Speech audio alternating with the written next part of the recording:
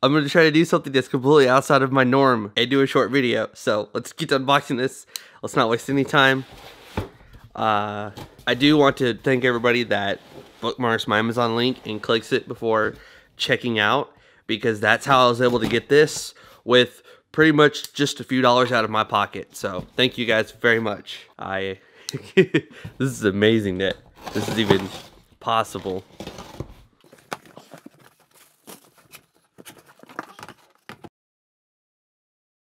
All right, so this model was $3.99. I was in the I was looking around for a little netbook I could carry around and take places and if I want to root phones out, you know, I have a G74SX through Asus and I love it, but it's got a monitor hooked up to it and about 30 cables coming out of it. So it's a pain in the butt trying to get it off of the cooling stand and and use it portably. It's pretty much a desktop. So uh, this thing comes with accidental drop protection, but I actually went ahead and got two years through SquareTrade through their accidental drop protection. So I've never dealt with Asus or SquareTrade as far as accidental drop protection goes. If you have, please drop me a comment below and let me know how your experience went. I would be very interested in hearing from you. Um, so I'd probably use this Asus for the first year if I accidentally dropped it. And after that, I would use my SquareTrade warranty. It was like 80 bucks because this was 3.99. So this is the X202E, but I was looking for a netbook, something small to carry around, and I found one that was like 279 through Asus, but it had 2 gigs of RAM and you couldn't upgrade it. It was soldered on. And so the more I looked, I found this one right here. And it's um yeah, it, it it's, it's touchscreen 4 gigs of RAM. Asus tweeted me and said that you can upgrade it.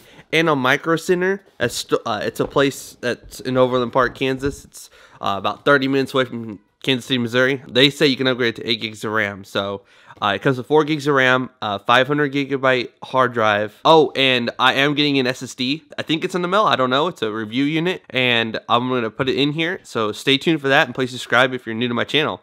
Um, it's an 11.6 inch screen. 1366 by 768, so that's pretty cool. It's HD, and it has a USB 3.0 port, which is a big, big plus to me because I love USB 3.0. So I know I'm carrying on. Let's let's do it. Let's let's cut this. Let's get it out of here and end this video.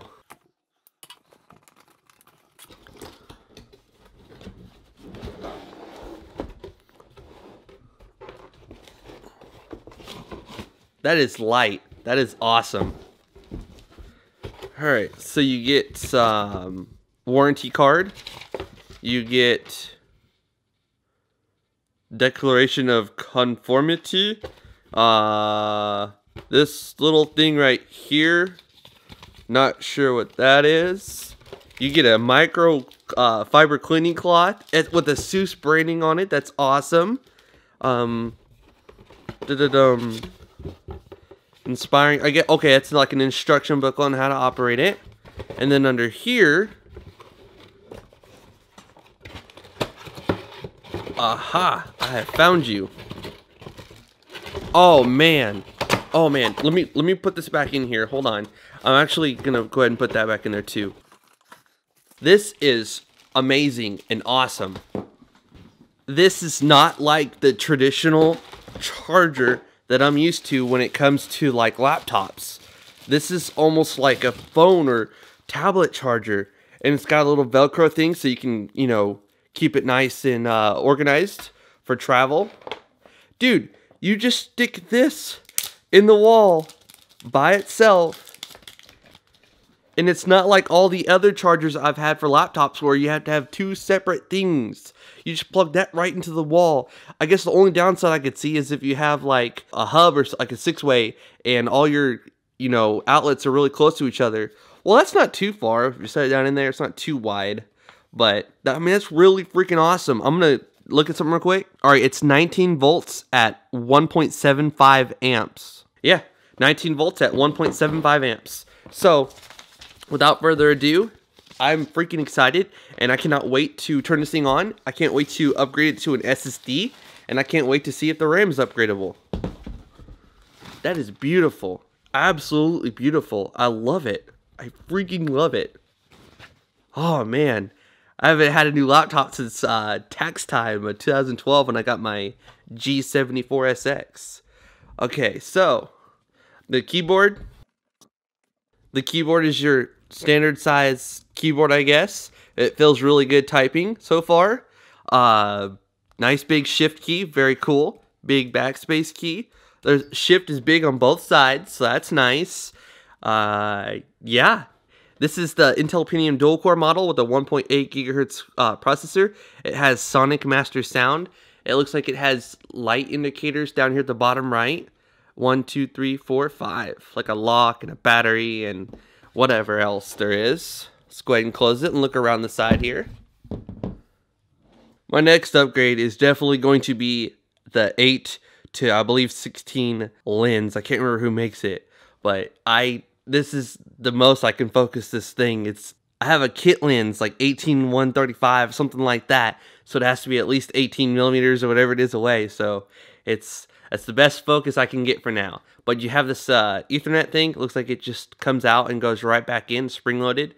There's for your power, HDMI, USB 3.0. I love it. USB 3.0. Uh, it's just amazingly fast.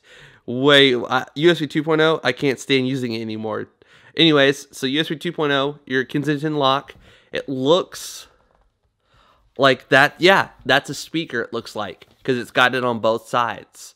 It's got rubber feet on the bottom. There's no access to anything to upgrade the RAM if it's not soldered on. You got to take off these screws and pull the whole back off to get to it. I'm going to do that actually. So yeah, I'm going to do that and see if I can upgrade the RAM because uh, I have 8 gigs that I could go ahead and throw in it today and upgrade it. So you've got the SD card slot, another USB 3, uh, 2.0 slot, VGA, which is cool because you never know if you're going to find yourself in a situation where you have a VGA display that you need to share your screen on and it only has HDMI. But this one has HDMI and VGA. So that's really, really cool.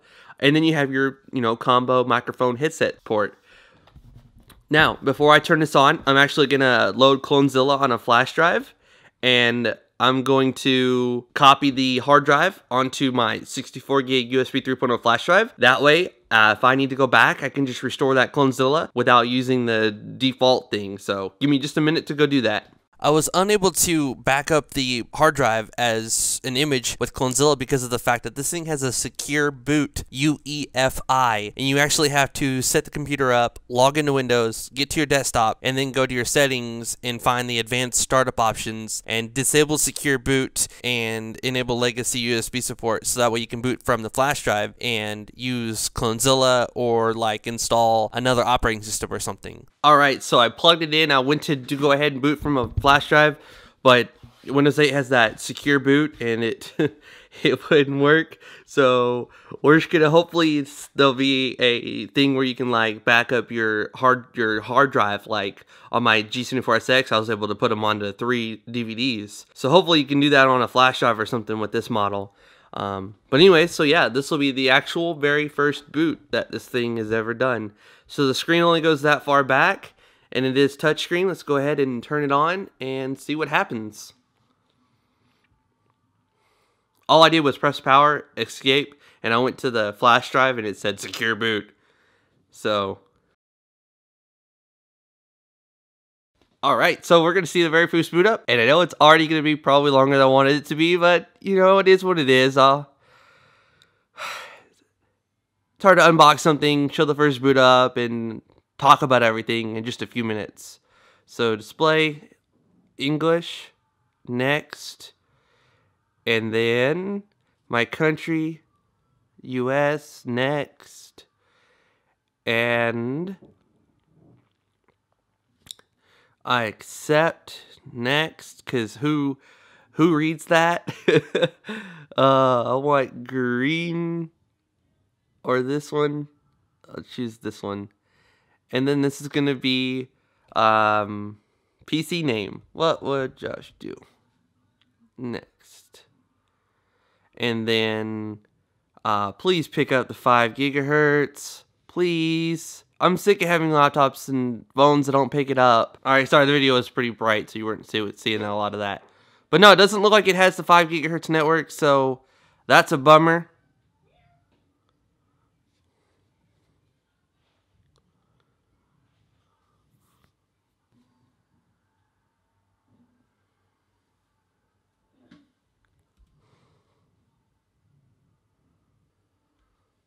All right, so I went ahead and just uh, I didn't know you could sign in without a Windows Live ID, and I don't like.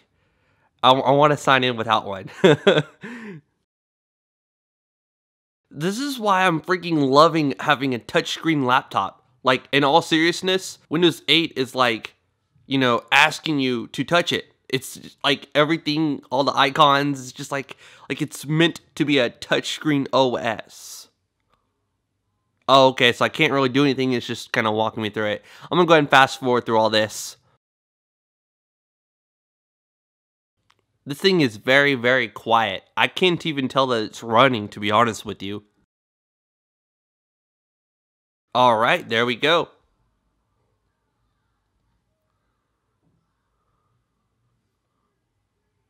So if you swipe in from this screen, you can hit start and it should launch all your apps. Or we're already at the start screen, so like we'll go to the desktop and well that's cool. Uh da da da da so start. Oh cool. And then you can just like tap on Internet Explorer and then whenever it loads up we can install Firefox. Man, this is awesome. I can't tell you like how much better this is than using like a freaking, you know, oh, I got to go all the way up here with my mouse and then all the way back down here and this is freaking awesome. So yeah, um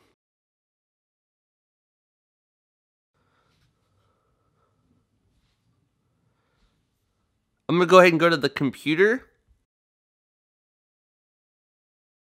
right click, choose properties, and it gets a 4.3. There you go. You can see it better now. So it's a 64-bit operating system, 64-bit processor, full Windows Touch support with 10 point test with 10 gesture points. Dude, that's really cool. That's freaking awesome. So I'm going to click on the Windows experience real quick, and then I'm going to go ahead and end the video because I don't want it to be much longer than this.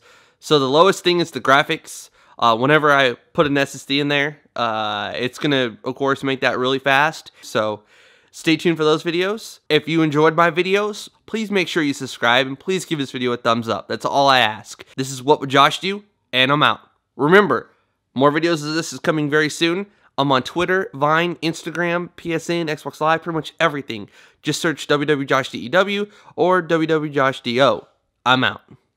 All right, so here's actually where I opened it. The hard drive's very easy to swap out and like change with an SSD or another hard drive or something. The RAM is soldered on. You can see that at the top right of one of the pictures. And in the description below, I will post a link to an Imgur album where it has a bunch of high resolution photos so you can click on each one individually. So the RAM is not replaceable, but the hard drive is. I'm out.